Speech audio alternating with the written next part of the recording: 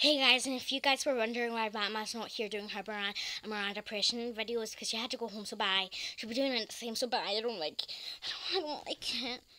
I won't be doing a video until the next two years.